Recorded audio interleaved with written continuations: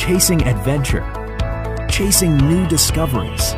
And now we're bringing the underwater world to the surface for everyone with the smallest, most portable, and affordable underwater drone ever. Introducing Dory.